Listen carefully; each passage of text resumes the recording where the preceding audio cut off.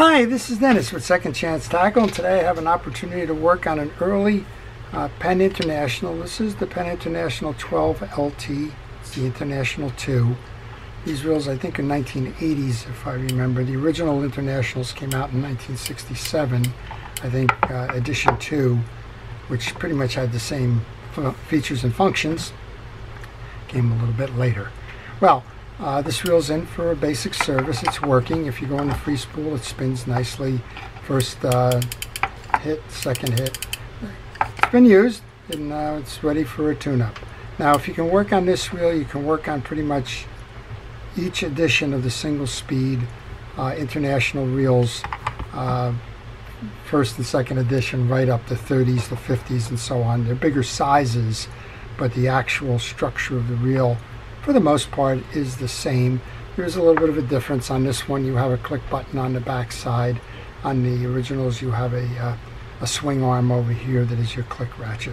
So we're going to take this reel apart. We're going to show you how to service it and uh, show you how to get this reel back out there fishing again. And uh, well, if you like these kinds of videos, if you want to see uh, how to service reels, if you want to learn a little bit more about how those reels are made, and a little bit about the histories behind them, well then I encourage you to subscribe to my channel. And if you do subscribe to my channel, please use the notification button. That'll let you know when I'm posting a video. And well, you can see if that's a video you want to watch uh, or not. This one is a, a large uh, ocean trolling reel. Uh, the next one might be a small uh, bass low profile reel. Never know. You're uh, watching me service what comes into my shop and I get all kinds of uh, reels in for repair. So it's kind of up to what the, uh, the folks are sending in as to what I'll be working on that day or week or whenever. All right, we took off the tie down screw and the handle screw. This has got a little bit of uh, old tarnish on it. That makes sense. The reel's been out on the water. It's been fishing. Uh, you should hose down your, your reels after each use, particularly if you're in a saltwater environment. Uh, use fresh water. That'll clean it up for you. And, uh, well, we're going to take the time to use chrome polish and a, and a um, 40000 ultra fine uh, steel wool. That'll clean that chrome right up. And when I take my pieces and parts off, they go into a parts tray. I use the parts tray to keep track of the parts that uh, have come off the reel and when I go to reassemble the parts that go back on the reel. I also wear a protective glove. That's to keep most of the stuff that I can off of my hand. There's a lot of old greases and who knows what in, inside a lot of these reels. And I would prefer to uh, avoid getting them at skin contact if I don't know what it is that I'm working on. Well, we've got three screws now that hold down this preset adjuster and the arm underneath. When I work on these reels, I like to put that free spool adjuster or the lever into the free spool position. Well, I don't know who worked on this reel last time, but these screws are really tight. Take your time with them, and you will uh, not damage the, the pieces and parts. We've got three screws, they're all the same size. So I'm going to put those into my parts tray. And now this piece will lift out and this piece includes that uh, free spool adjuster. Well underneath here there is a, a little clip. Not sure we're going to be able to get this one out. So we'll wipe it clean.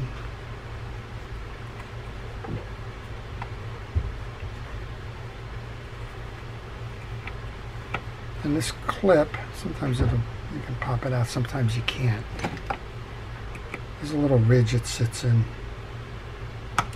Now, I'm just going to flood that with penetrating oil. There's no issue here with that preset knob. So I'll just flood it and I'll mop it clean. And if you spin that little clip, you will get, get it cleaned underneath. So that's your free spool adjuster on that side. On the outside we have that same little film that's developed there from uh, exposure to the salt air and the like. Take care of that. And again, I'm just using an automotive chrome polish. This one happens to be Turtle Wax's Chrome Cleaner. which is kind of interesting because there doesn't seem to be a lot of chrome on cars anymore. And uh, that cleans it up nicely. That'll go into my parts tray and it'll go near where those three screws are that I took out. This is your free spool or lever for the lever drag. Got a lot of grease in here. We're going to take care of cleaning that up. But what you want to do right now is take a picture so that you know the orientations of these before you start pulling a lot of parts. Sometimes this one can just come right up and off. There is a beak on the back of this lever, so you have to be careful when you're taking that off. You don't want to break that.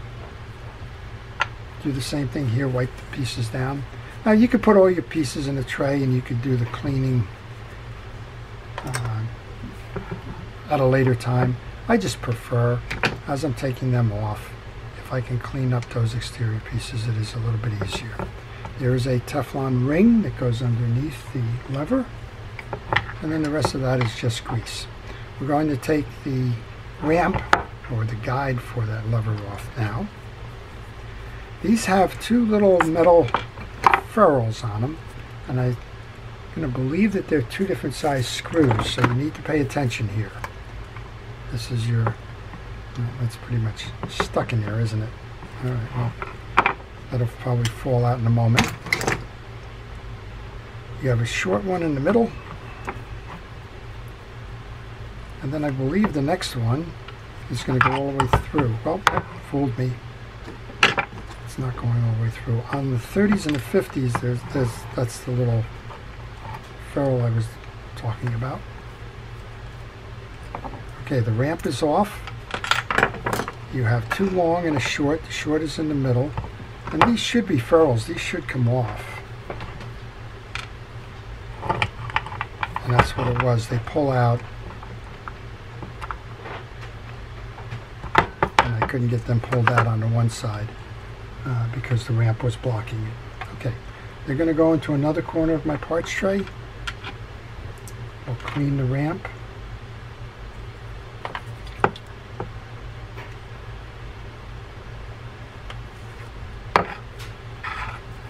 And notice on the ramp that when you go to reinstall, one side of this has a uh, tapered front right here. It's uh, kind of got a bevel to it. When you go to install, the taper faces out. Okay, put that aside, and we're ready to open this reel up now. So we have a couple of side plate screws. We have four. Take the pictures. It's easy to uh, get confused as you go to reinstall. So we have one up top holding the harness lug. We have basically a northeast-southwest orientation to these. When you do the removal of the screws, please make sure that you use a screwdriver that matches the head of the screw. It's too easy on some of these older wheels to get yourself in trouble by using an undersized blade and then butterflying or not having the leverage to remove those screws. I'm doing the same thing with these that I did with the other. I'm taking them out, but I'm putting them close together and I'm comparing them as, uh, as I remove them.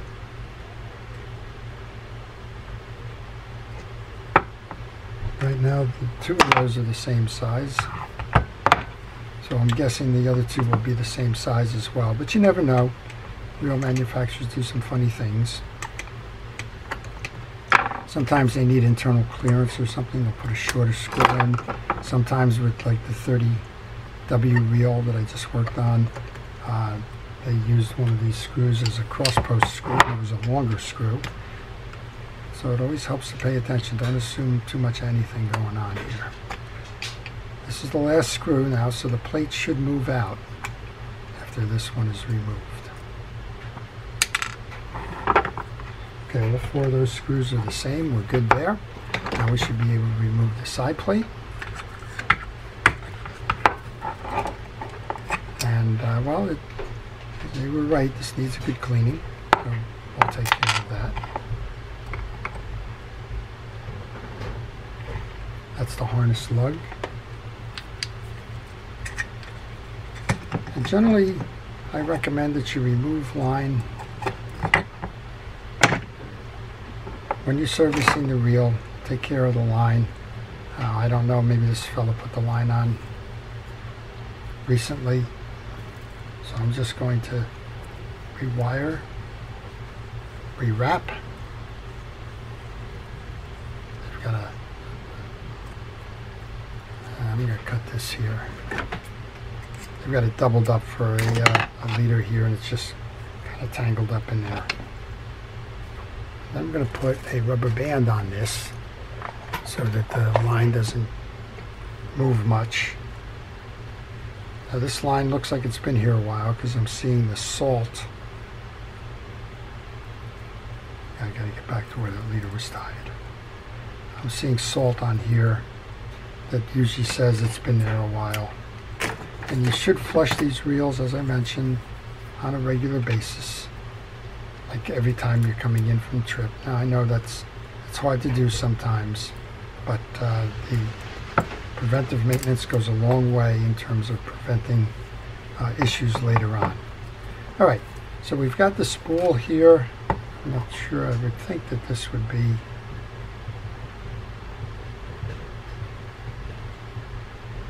removable. Okay, got a mess here, so let's go to the gear side and we'll do that first. Pull out the main gear. Notice your positioning on that anti-reverse bearing came out and uh, we've just got a lot of old grease in here now. So I'm going to use the penetrating oil. I'll use WD-40 to clean that up. Spray a little bit on that bearing too because that's that same shellacked grease. And then I'm just going to use a cotton swab for the most part to do the cleanup. Well, while I'm doing that, if you have any questions on this reel or any reel in particular, maybe you're working on one and you're stuck. Uh, if you want to leave that question in the comment section of this reel, it doesn't have to be a question about this particular reel, uh, but if you leave that question, I will try to answer that question for you. Well, this, uh, this grease cooperated pretty well. Use a paper towel to clean that further. And, uh, well, that's that's all good. All right, nothing some fresh grease won't hold for you. The uh, the bearing sits in a uh, in a carrier. That carrier is the adjuster ramp for the reel. Just gonna get the old greases off of this.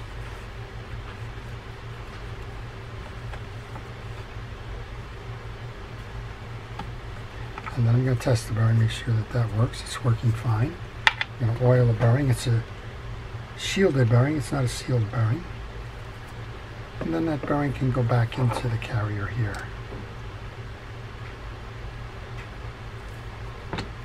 If you wanted to or needed to remove the carrier, you have a clamp here that's doing that. Most of the time you don't need to remove the, the carrier. We'll do the same thing on the outside here. I'm just going to grab that penetrating oil. There's been some grease that's kind of accumulated along the track. And I'm just going to use the flat blade of a screwdriver to clear up the old stuff there.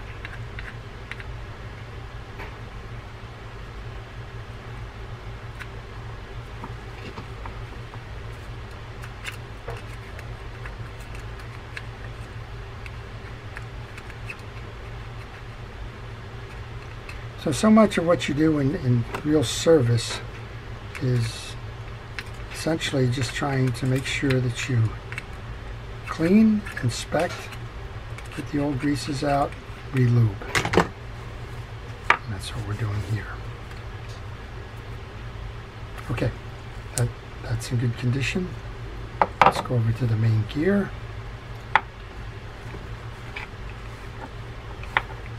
Now this one must have been greased at some point, but it's totally devoid of grease right now. That's probably why all the grease was hanging behind it.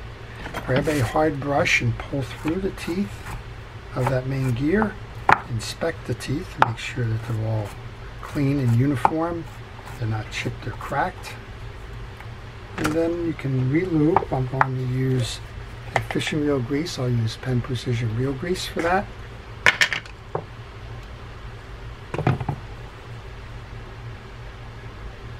Just uh, take care of putting a nice coat of grease on there. You don't have to overload. The overload's just going to get spun off with centrifugal force. But since this one hasn't seen grease in a while, we're going to make sure that we do that right. Okay. You want to reinstall the main gear. And as you come down, you want to take a, something to reach that anti-reverse dog and push that down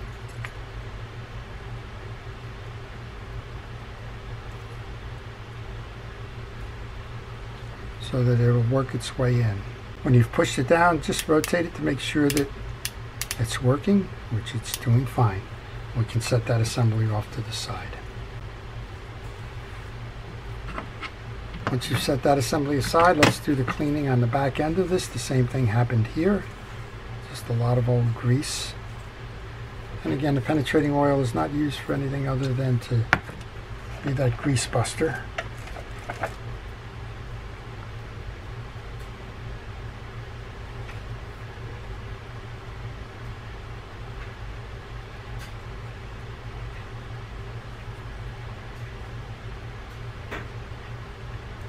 Clean that up nicely and we'll just do the same thing here. I'm going to throw some oil onto that assembly. We'll let that sit and we'll go to the spool which is where the business end of this is all about. The spool has four screws. We want to remove those. That's holding on the pressure plate and the drag assembly.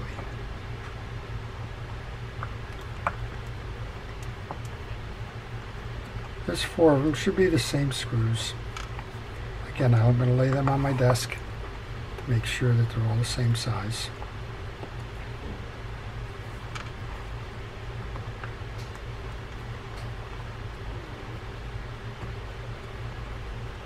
Okay. Plate assembly comes off. This is your pressure plate for your your drag and it has your drag washer on it. We have a spring. This is a good place to tell you to take pictures. And now we want to pull the rest of the assembly out. I'm pushing that forward because there's a bearing under here that you need to work.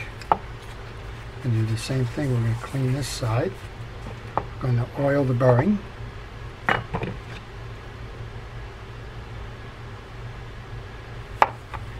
On here we have tension washers. They're a very dirty axle shaft. We'll take care of that. Do the same thing again. And grab a paper towel.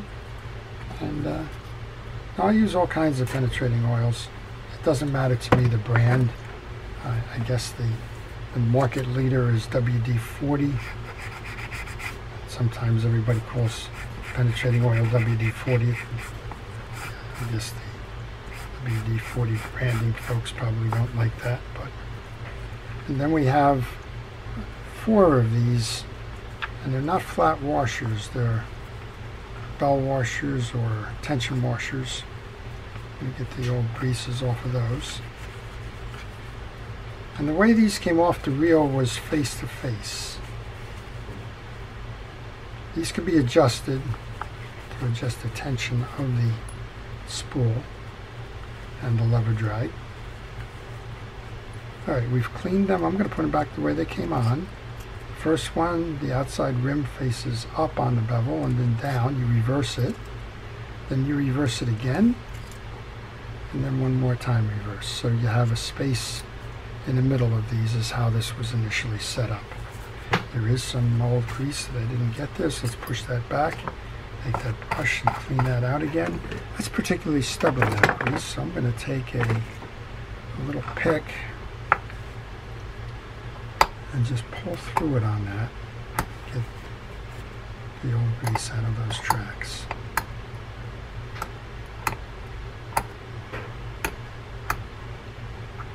You can see all that old grease that's accumulated in there.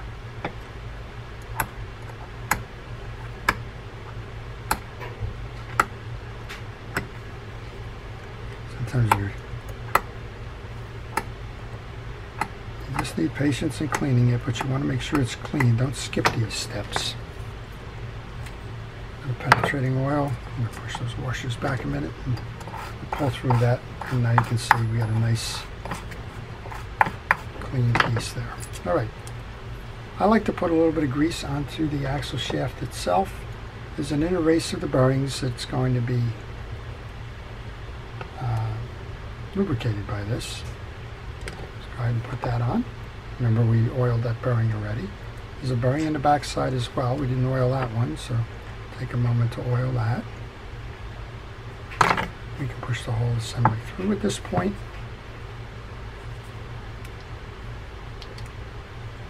And now this thing should spin. Yeah, it wasn't spinning before because of all the dried grease.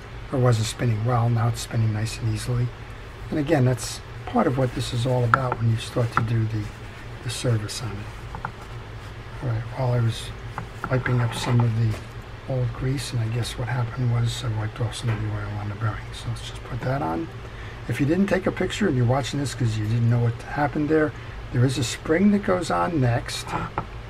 Then our plate assembly. Now this dragger is in good condition. If you can see the cross hatching and you don't see evidence of wear, then your, your drag washer is fine.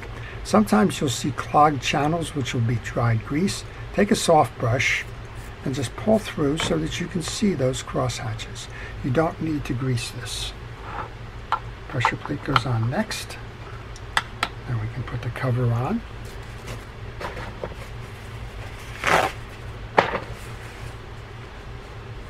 I'm just going to wipe down the old grease on the cover. The back of the cover is the click ratchet or bait alarm. Let's line these up now. And we can go put the four screws back in. So there's, these are not terribly difficult to work on. Some people think that because they're not familiar with them, they don't want to take that uh, jump into the water, if you will. That, that's okay.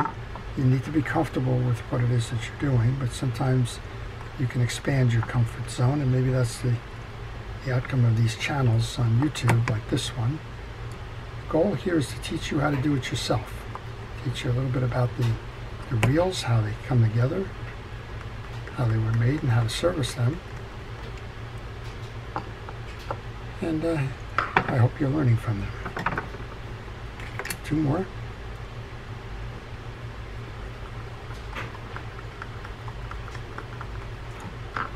Last one. And then I'm just noticing there's a little bit of, looks like a little bit of grease where the bearing is going to ride. And we'll take that pick again and just run it through there. Yeah, there's a little bit of grease there. So the bearing on the back case is going to fit in this slot here, so let's go ahead and do that right now.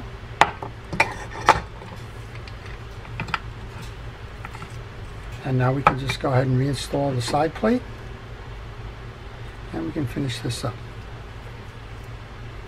Again, we've cleaned the gear. We've taken care of all the old grease on the side plate. We've oiled the bearing in the back. We did not remove the adjuster uh, mechanically. It's doing fine. We don't need to do anything with that. And uh, right now you just want to merge them. We need to line up the screws and we can set the first screw. This is probably where it was important to see what screws belong where. All four of them are the same. I'm going to put one in the bottom here because we know that that's not one of the ones involved in the, uh, the lever. And I want to just take the pressure off. Next one I want to do, I want to take the harness lug line that up and place that one in.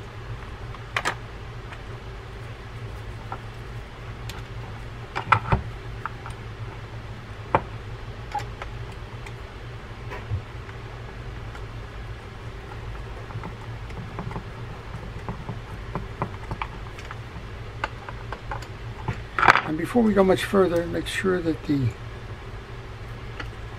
that the uh, spool is turning freely If it's not turning freely. You didn't mesh the gears right. And there's no sense putting anything more on there.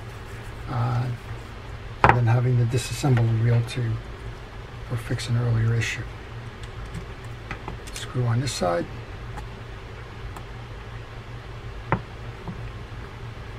Screw on the other side.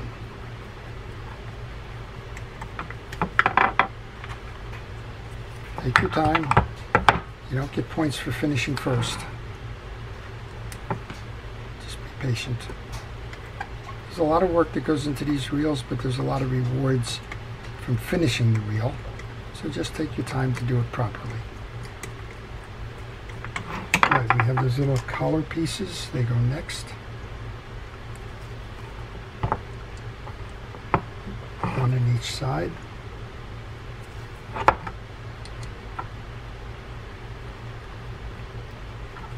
Make sure that they press down all the way. The screws will pull them in if you don't have them down all the way. All right, now remember what we said. There's a bevel side on this. That's this one for the screw. Can go ahead and center this up. Screws kind of hold it in place, so I like to do it. I have the two of those. Now I have the small screw goes behind the bevel there, a small ferrule rather.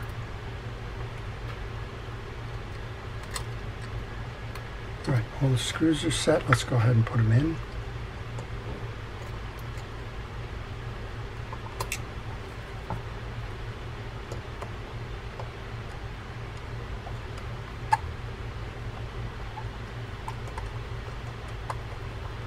So the International Series was really quite a a change for Penn. It happened in 1967, the first introduction of these Gold Series reels. Before that, they were dependent on their Big Penn Senators. They didn't have these um, these lever drag reels, and uh, well, they proved quite successful. It really helped Penn continue to make a name for itself in the saltwater big game market. Remember what we said about that plastic washer that goes behind the lever drag arm? There's a little groove in there. It was filled with grease. That's why we took that piece out. Now you want to match or mesh this piece. I don't think my owner will get upset if I try to get this off here. I'm just going to use the dull side of the, the blade here kind of do the scraping on that. Looks like it nicked something that was fresh paint. Or maybe it wasn't fresh paint. It just stick the paint and grabbed it. All right, better. All right, to put this on then, we know we left it in free spool, so we're over here somewhere. You do have a knob here that you probably have to work around. Hook the beak first. Get that over the lever, and then you can push in and merge it with the two studs that's on the side wheel. Now you gotta uh, on that adjuster panel. You had a hard time seeing that the first time because, well, it was covered with grease. All right, this one is kind of fun. Hopefully I didn't disturb that, so we should be able to just put it back on, but you need a visual here. The slot on this, like a screwdriver, belongs in a slot there. So we're going to go over, and you're going to take that visual Yeah, not far off. There we go. And if it's giving you any trouble, just do the visual, take a look, peek from behind, and uh, eventually you will get that lined up properly. Okay, three screws here. And we're coming towards the end of this one. Those of you still watching, thanks for your continued support. And if you're watching and you haven't subscribed yet, I would ask you again to subscribe because, well, this is kind of what most of the reel repair videos look like. I do try to cover some other topics in the channel, but most of it centers around the, the fishing reels themselves and how to repair them. So if you're thinking of a hobby, it's a great hobby. The idea behind Second Chance is to keep the reels fishing, give them a second chance. A lot of times uh, reels get discarded or put on the back shelf or something because they're not, uh, uh, they've broken. This is one way to help get them off the shelf and onto the water. All right, the handle goes next. The handle tie down screws follows. Just tighten that down, and when you tighten it down, you need a scallop to align with that set screw hole.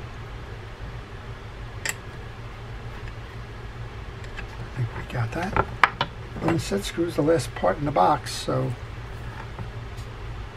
we know that we put the parts that we took off back. Do we know that we put them in the right position or not? I don't know. I think we did. All right, we can give it a ride now, see how we did. Whenever you're adjusting a lever drag reel, make sure you're in free spool when you're doing it. Don't attempt to tighten or loosen your preset while this is, is in a different position. Spin the reel, spins beautifully. Bring it up to first strike. Handle's moving, so that means that we've engaged the drag. Second strike, and you should have a full press down at that point. You should be able to put pressure on the spool and not be able to turn the handle. That's what we're doing there. So that's it. That's your Penn, Penn Reels International 2 LT. And uh, it's been taken apart. It's been cleaned. It's been inspected. It's been re-lubricated, reassembled. It's ready to go fishing again. So I hope you've enjoyed that. If you did, please like the video. If you want to see more, please subscribe. To our first responders and essential personnel, thank you for all it is that you do to keep us safe. I really do appreciate all of your efforts. To everyone, learn the art of reel repair. Enjoy uh, servicing your reels. Keep them clean at a minimum. If you need somebody else to work on your reels, that's fine, but keep them clean. We saw that this one uh, had accumulated a lot of film and some dried greases and salts, and we still see evidence of salt here. Hose your reels down when you're done, particularly if you're in a saltwater environment. Use fresh water. If you don't have a hose, take the reel off and put it in a bucket or a pail of water or a coffee can full of water or anything. Just uh, use that to dissolve the dirt and that that may have accumulated over your day's trip. I hope that's been helpful. This is Dennis with Second Chance Tackle. Have a great day.